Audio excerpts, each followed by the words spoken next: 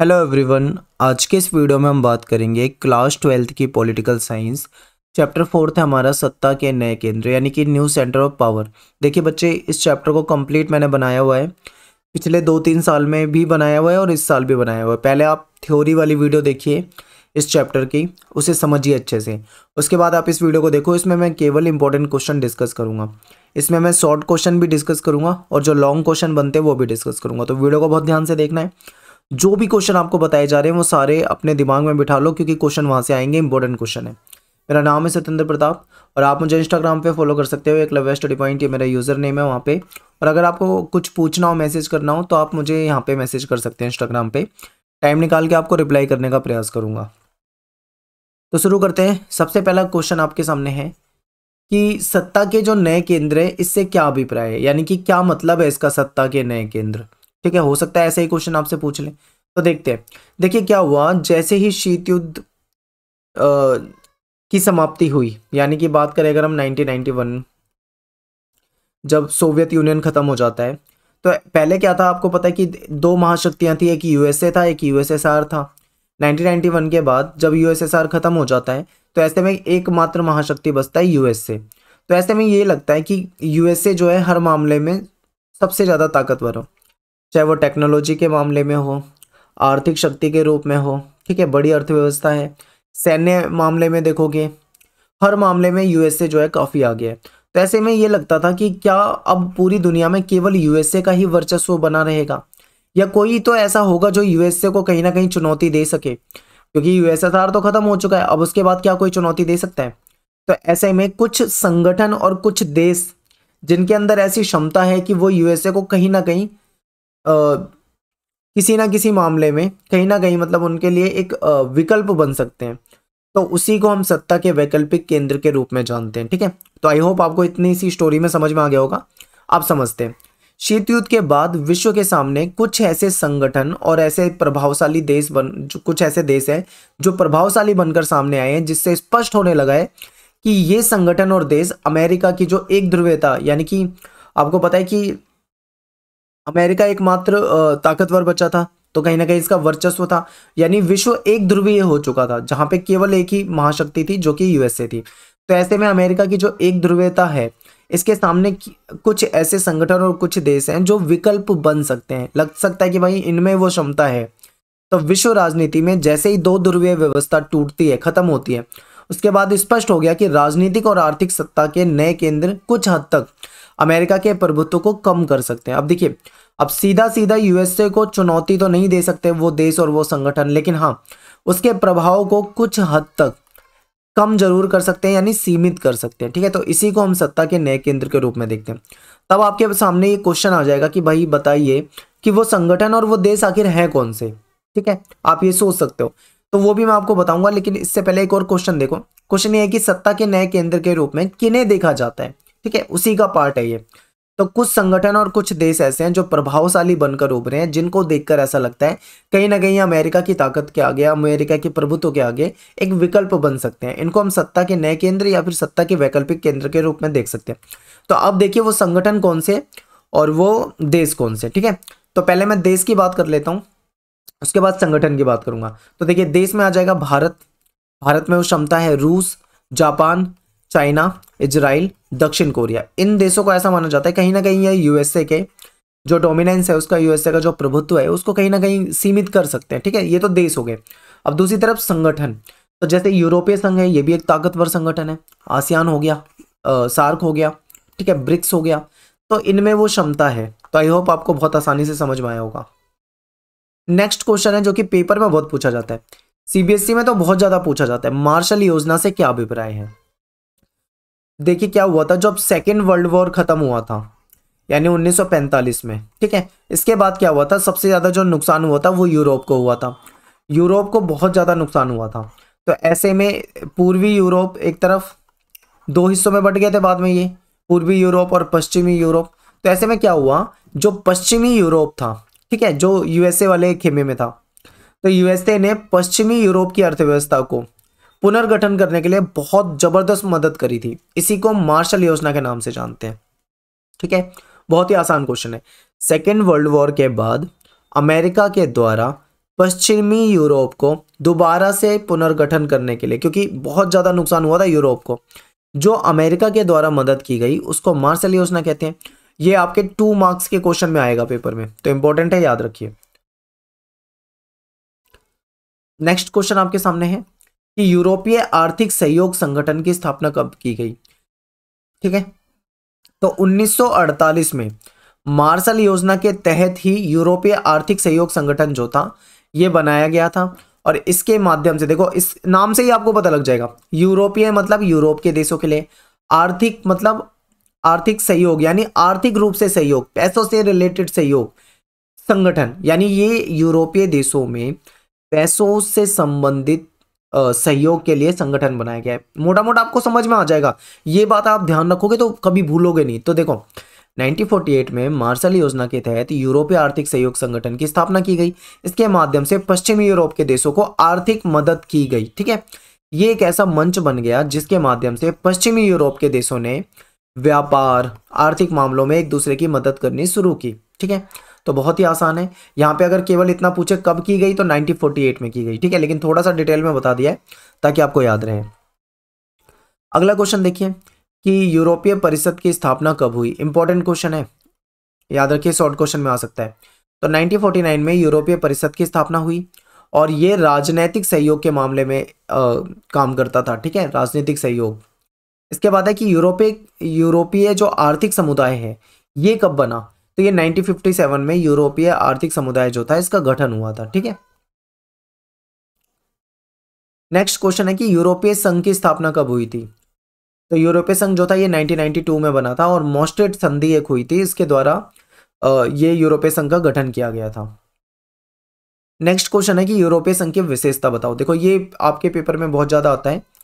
Most important question है, इसको बिल्कुल दिमाग में बिठाओ, ये पूछा जा सकता है। यूरोपीय संघ की विशेषता क्या है? देखो, यूरोपीय संघ जो है, यूरोप के देशों का संगठन है। स्थापना उन्नीस सौ बानवे में हुई थी। पहले तो यह एक आर्थिक संगठन के रूप में काम करता था, लेकिन बाद में ये एक राजनीतिक संगठन की तरह काम करने लगा, ठीक है? यानी कि शुरू में ये आर्थिक सहयोग वाली संस्था थी, बाद में राजनीतिक संस्था का रूप ले लिया इसने।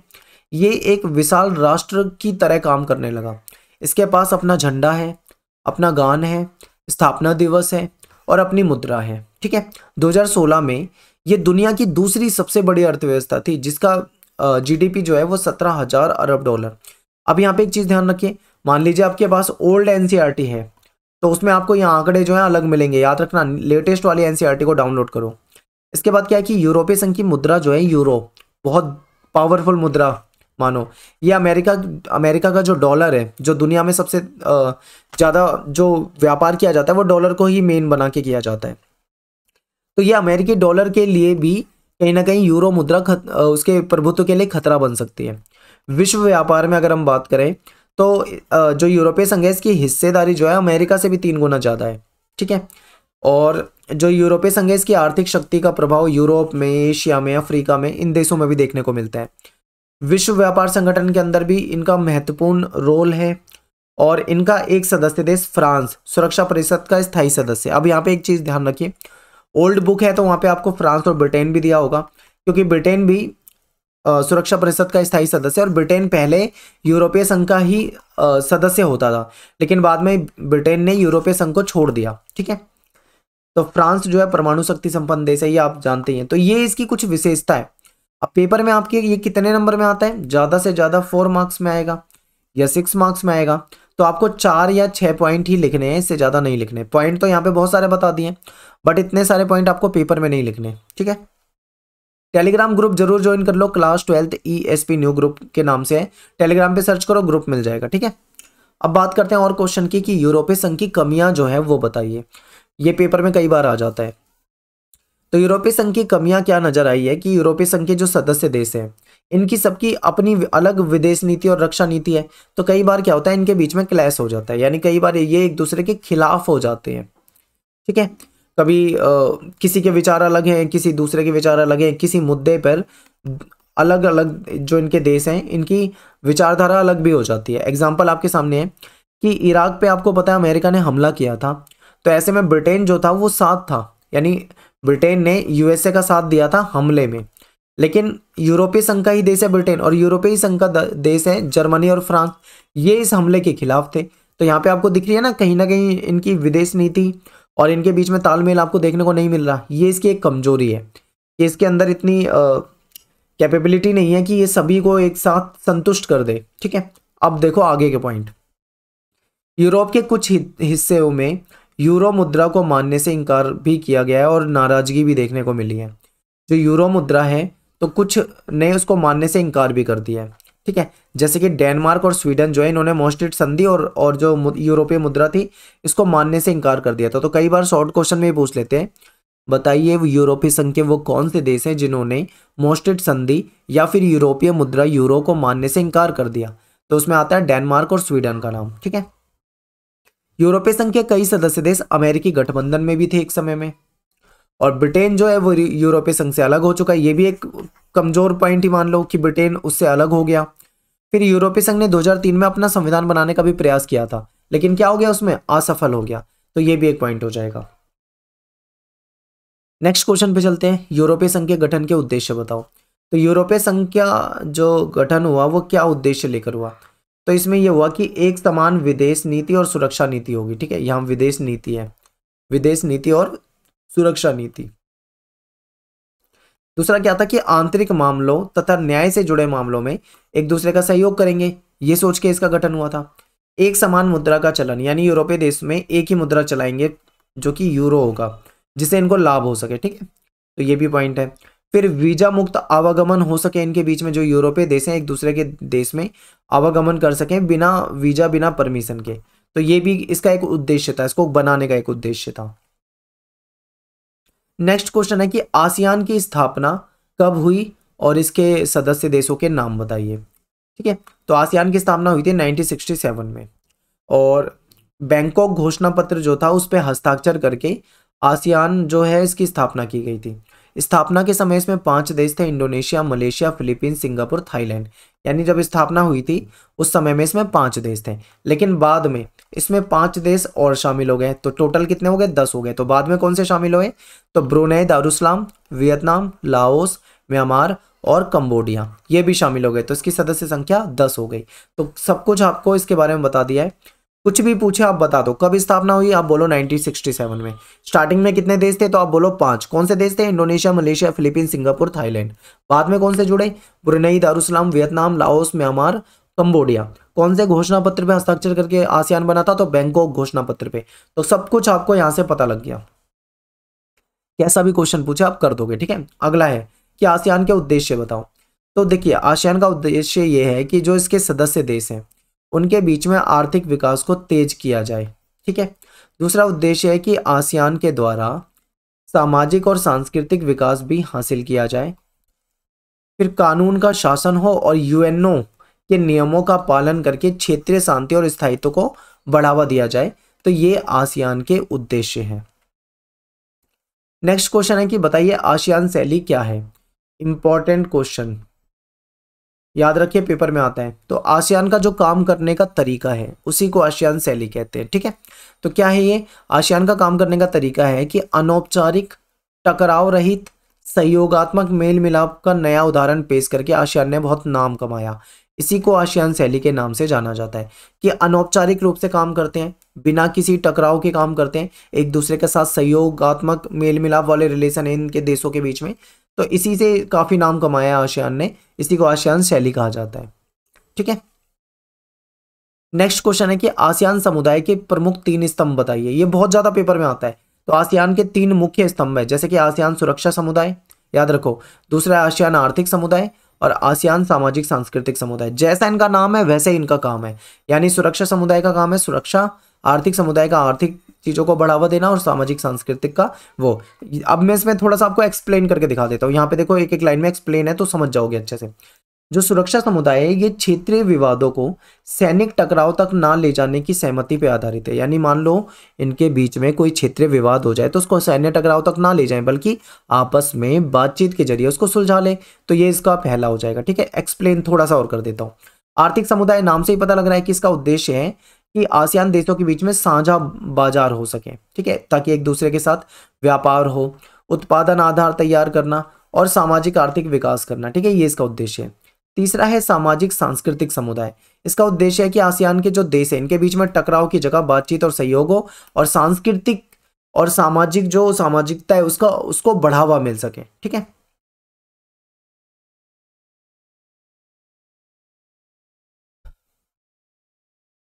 नेक्स्ट क्वेश्चन है, आसियान क्षेत्रीय मंच की स्थापना कब हुई?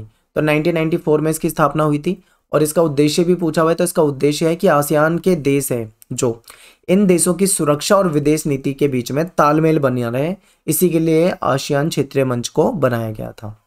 ठीक है? अगला क्वेश्चन है कि वर्तमान समय में आसियान का महत्व, उपयोगिता और प्रासंगिकता पे चर्चा करो।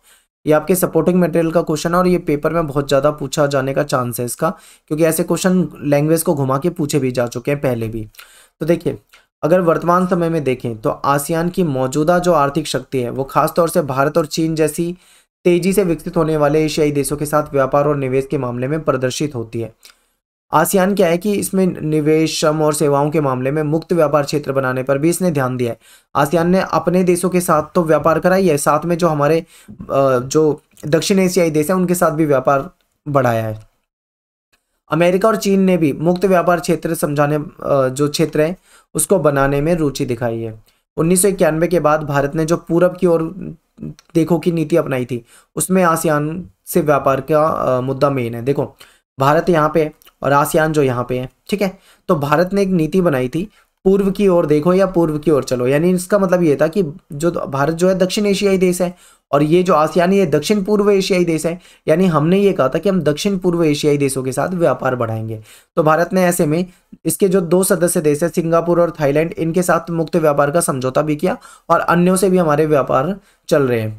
2009 में भारत ने आसियान के साथ मुक्त व्यापार समझौता किया, जो कि 1 जनवरी 2010 से लागू है। ठीक है, ये बता दिया आपको।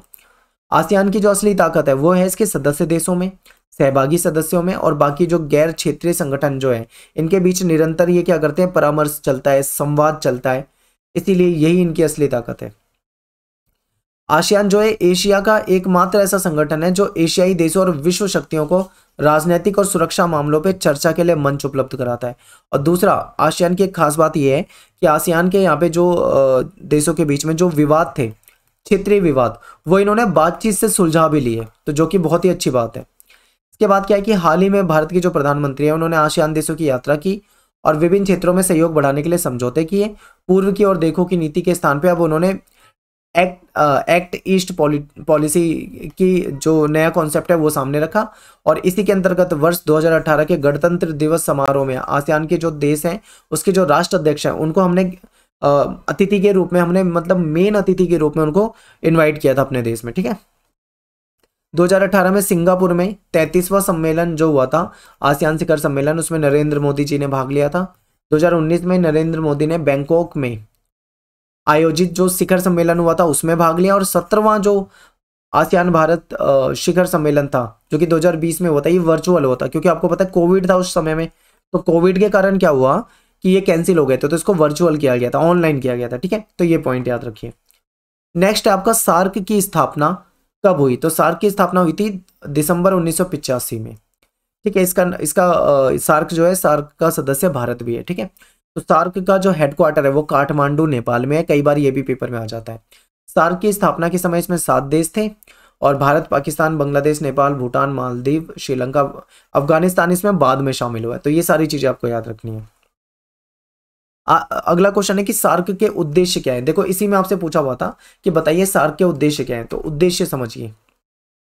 दक्षिण एशिया के देशों में जनता के विकास और जीवन स्तर को सुधार लाना ये इसका उद्देश्य है। यहाँ की जनता को आत्मनिर्भर बनाना आर्थिक विकास करना सांस्कृतिक और सामाजिक विकास करना आपसी सहयोग को बढ़ावा देना आपसी विवादों को बातचीत के ज़रिए निपटारा करवाना और आपसी विश्वास बढ़ाकर व्यापार को बढ़ावा देना ये सारी चीज़ें क्या इसके उद्देश्य है। नेक्स्ट है कि ये पूछा जा सकता है पेपर में इंपॉर्टेंट है कि सार्क जो है एक असफल संगठन है। तो ऐसा क्यों हुआ? आप देखोगे यूरोपीय संघ भी सफल है, आसियान भी सफल है, लेकिन सार्क क्यों असफल हो गया? ब्रिक्स को भी हम सफल मान सकते हैं, लेकिन सार्क सफल नहीं हुआ। क्यों? इसके पीछे रीजन ये है कि इसके जो सदस्य देश हैं, इनके बीच में आपसी विवाद है, भारत का पाकिस्तान के साथ, भारत का बांग्लादेश के साथ। कई बार भारत का श्रीलंका के साथ हो जाता है, पाकिस्तान का बांग्लादेश के साथ विवाद है, यानी आपस में कहीं ना कहीं विवाद है। तो इसके कारण ये सफल नहीं है। दूसरा क्या है कि आपसी व्यापार में भी इनकी कमी है। ठीक है? भारत पाकिस्तान संघर्ष इसका एक महत्वपूर्ण कारण है। और फिर आतंकवाद, अलगाववाद वाली जो नीतियाँ चलवाई जाती है विदेशी ताकतों के द्वारा, ये भी इसका कारण है। फिर ये देश आपस में लड़ते रहते हैं, जैसे भारत पाकिस्तान की नहीं बनती है। ठीक है? ऐसे पाकिस्तान, बांग्लादेश की नहीं बनती है। तो कहीं ना कहीं ये विवाद है। इनमें एकता नहीं है और आपसी विवादों को बातचीत के ज़रिए नहीं सुलझाया जाया। जैसे कि आपने सुना है कि आसियान ने तो सुलझा लिया, लेकिन जो सार्क है ये नहीं सुलझा पाए। तो ये कुछ ऐसे कारण है जिसकी वजह से सार्क जो है वो असफल संगठन है। इसके बाद है ब्रिक्स के बारे में विस्तार से बताइए। तो ब्रिक्स क्या है? पाँच देशों का संगठन है, ब्राज़ील रसिया इंडिया, चाइना और साउथ अफ्रीका। शुरू में ये ब्रिक होता था, यानी साउथ अफ्रीका इसमें बाद में जुड़ा है, ठीक है? तो इसलिए पहले ये ब्रिक कहलाता था। तो ब्रिक्स दुनिया की उभरती अर्थव्यवस्थाओं वाले देशों का एक संघ है। इसमें ब्राज़ील, रूस, भारत, चीन, दक्षिण अफ्रीका शामिल है। वर्तमान में ब्रिक्स पाँच देशों का संगठन है और इसकी शुरुआत हुई थी 2006 में, ठीक है? इसका पहला सम्मेलन 2009 में हुआ था और प्रारंभ में इसकी सदस्य संख्या चार थी, क्योंकि इसमें पहले साउथ अफ्रीका नहीं था। बाद में इसमें क्या हुआ? साउथ अफ्रीका भी इसमें जुड़ गया तो इसकी सदस्य संख्या पाँच हो गई। इसके उद्देश्य क्या है? ब्रिक्स के ये भी पूछते हैं तो ब्रिक्स का मुख्य उद्देश्य अपनी अर्थव्यवस्था को उभारना। अंतर्राष्ट्रीय अर्थव्यवस्था और अपनी आर्थिक स्थिति में सुधार लाना। इसके जो सदस्य देश हैं, इनके बीच में जो अर्थव्यवस्था है, उसको बढ़ावा दिया जाए ज़्यादा से ज़्यादा व्यापार हो सके, ठीक है? और आपस में राजनीतिक, आर्थिक और सुरक्षा सहयोग करना। और यह क्या है कि एक दूसरे की मतलब जो साझा चुनौतियाँ हैं, उसमें एक दूसरे को सुलझाएँ, ठीक है? सदस्य देशों की जो इंटरनल मैटर होते हैं जिसको हम आंतरिक मुद्दे कहते हैं, उसमें हस्तक्षेप ना करें। ऐसे ये सारे मुद्दे हैं, जैसे कि प्रत्येक राष्ट्र की आंतरिक नीति जो है, उसमें समानता और अहस्तक्षेप की नीति, यानी उसमें हस्तक्षेप नहीं करेगा कोई दूसरा। इसके अतिरिक्त सदस्य देशों के बीच में सहयोग हो, पारस्परिक आर्थिक लाभ हो और उसका वितरण हो सके। तो ये सब इसके उद्देश्य हैं। अब कुछ शॉर्ट क्वेश्चन पे भी डिस्कस कर लेते हैं। कई बार ये क्वेश्चन आए हुए हैं पेपर में कि भारत और चीन का युद्ध कब हुआ था? आप सभी जानते हैं 1962 में, चाइना के द्वारा अटैक हुआ था। फिर एक क्वेश्चन ये भी पेपर में आता है कि चाइना की क्रांति कब हुई थी? 1949 में हुई थी। किसके नेतृत्व में हुई थी? तो वहाँ के नेता थे, उनका नाम था माओ। माओ के नेतृत्व में हुई थी। फिर चीन ने मुक्त द्वार नीति, यानी कि ओपन डोर पॉलिसी जो है इसकी, ये कब अपनाई थी? तो 1978 में अपनाई थी, ठीक है? 1978 में। और देंग शाओपिंग यहाँ के नेता थे, इनके नेतृत्व में अपनाई थी। अगला क्वेश्चन है कि भारत और चीन के सॉरी ये स्लाइड जो है वो दो बार हो गई है। अगले पे चलते हैं। अगला क्वेश्चन है, चीन में कब और किसके द्वारा चार क्षेत्रों में आधुनिकरण का प्रस्ताव दिया था? ठीक है तो चाउ एन लाई द्वारा चाउ एन लाई जो थे, इनके द्वारा ये प्रस्ताव दिया गया था, जिसमें कृषि, उद्योग, सेना, विज्ञान और टेक्नोलॉजी, इन चार क्षेत्रों में क्या था? आधुनिकरण के प्रस्ताव थे। नेक्स्ट है कि चीन ने खेती का निजीकरण कब किया था? 1982 में निजीकरण कर दिया था। उद्योग का निजीकरण कब किया था? 1998 में किया था। पेपर में आते हैं क्वेश्चन इसलिए यहाँ पे रखे हैं। चाइना जो है, वो विश्व व्यापार संगठन, यानी डब्ल्यूटीओ जो है, इसका इसमें कब शामिल हुआ था? तो 2001 में चाइना इसमें शामिल हुआ था। नेक्स्ट है, भारत और चीन के संबंधों पर चर्चा करो। तो देखिए क्या हुआ कि शुरू शुरू में बहुत भाईचारा था। हिंदी, चीनी भाई भाई का नारा बहुत फ़ेमस था। लेकिन बाद में चीन ने उन्नीस सौ बासठ में भारत पे आक्रमण कर दिया, जिसमें भारत हार गया। चाइना और भारत के बीच में सीमा विवाद है। जम्मू कश्मीर में अक्साई चीन वाला हिस्सा और अरुणाचल प्रदेश के कुछ हिस्से को लेकर विवाद है। चीन ने तिब्बत को हड़प लिया, जिससे कि दलाई लामा ने भारत में शरण मांगी और भारत ने उनको शरण दे दी। इसकी वजह से भी भारत और चीन के बीच में विवाद है। फिर पंचशील समझौता हो रखा है। समझौता अच्छी बात है। ठीक है? लेकिन समझौते के लिए भी कुछ पॉइंट ऐसे हैं कि जब भारत ने दलाई लामा को शरण दी थी तो चीन ने ये आरोप लगा दिया था भारत पे कि भारत पंचशील समझौते को नहीं मान रहा है, उसका उल्लंघन कर रहा है, ठीक है? तो क्वेश्चन ये भी आ जाता है कि बताइए पंचशील समझौता जो है, ये कब हुआ था? ऐसे पूछ सकते हैं? या फिर ये ऐसे पूछ सकते हैं कि बताइए पंचशील समझौते में कौन सी पाँच मुख्य बातें हैं? तो देखिए, ये एक दूसरे की क्षेत्रीय अखंडता और प्रभुसत्ता जो है, उसका सम्मान करना, ये इसका पॉइंट है। एक दूसरे पे आक्रमण ना करना। यानी भारत और चीन एक दूसरे की क्षेत्रीय अखंडता और प्रभुसत्ता का सम्मान करेंगे, एक दूसरे पे आक्रमण ना करेंगे। और एक दूसरे के आंतरिक मामलों में हस्तक्षेप भी नहीं करेंगे। ये भी है। समानता और शांतिपूर्वक सह अस्तित्व, ये कुछ पाँच बातें हैं। अगला क्वेश्चन है कि दुनिया का इकलौता यहूदी देश कौन सा है? तो इजराइल है। और सोवियत संघ का उत्तराधिकारी किसे बनाया था? रूस को। तो सोवियत संघ की जो यूएनएससी यानी यूनाइटेड नेशन सिक्योरिटी काउंसिल की जो सीट है सुरक्षा परिषद की जो सीट है परमानेंट वो रूस को मिल गई थी, ठीक है? इसीलिए रूस को वीटो पावर मिल गई थी। तो सोवियत संघ का उत्तराधिकारी कौन हो जाएगा? रूस हो जाएगा। अब एक क्वेश्चन है आपके सामने। यहाँ पे टाइपिंग की मिस्टेक है, मैं यहाँ पे लिख देता हूँ, ठीक है? दक्षिण कोरिया की राजधानी क्या है? आप इसका आंसर मुझे देंगे कमेंट में। और एक और जवाब आप मुझे देंगे कमेंट में कि जो भी आप देंगे आंसर इसका, वो अपना नाम ज़रूर लिख देना, ठीक है? नाम लिख के ब्रैकेट में आंसर लिख देना अपना, ताकि मैं उसे देख के समझ पाऊँ। तो मिलते हैं फिर आपसे नेक्स्ट वीडियो में। थैंक्स फॉर वॉचिंग सभी को। जय हिंद, जय भारत।